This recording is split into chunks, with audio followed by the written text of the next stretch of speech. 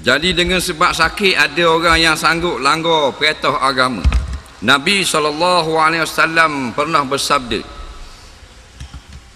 Fatadawau wa la tatadawau biharamin Berobatlah kalau sakit. Tapi jangan berobat dengan cara yang haram. Memang orang sakit ni nak baik. Sebab baik ni lega.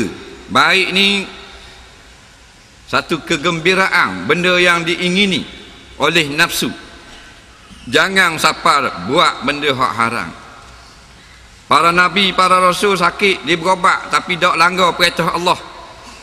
Di antara kita ni siapa langgar perintah Allah, orang suruh makan kotor-kotor makan kau. Oh ni kena makan susu rima, bang susu rima. Nampak tak? Gak paling ngau malam-malam nak boleh tidur panasan. Dak susu rima. Nah, ha. Tapi kalau tak ada bandingan dah memang susu rima tu menjadi obat yang mustajab kata ulama' nak banding dengan obat hak suci dia lebih lagi. Maka barulah siapa tahap tu diharuskan. Nak cuma hak peliknya siapa sebotol kan jual susu rima. Hak tu pelik. Pasal rima ni kalau rima mampu tak ada susu. Rima ada susu ni rima beranak cek.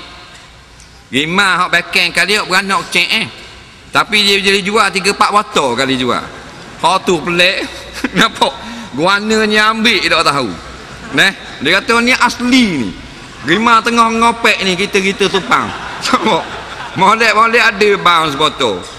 Ni kalau orang suruh kita cari setitik payah nak. Nah, tu tak tahu susu das lady nyebut dalam tu dia kata susu rima. Nampak? Ha.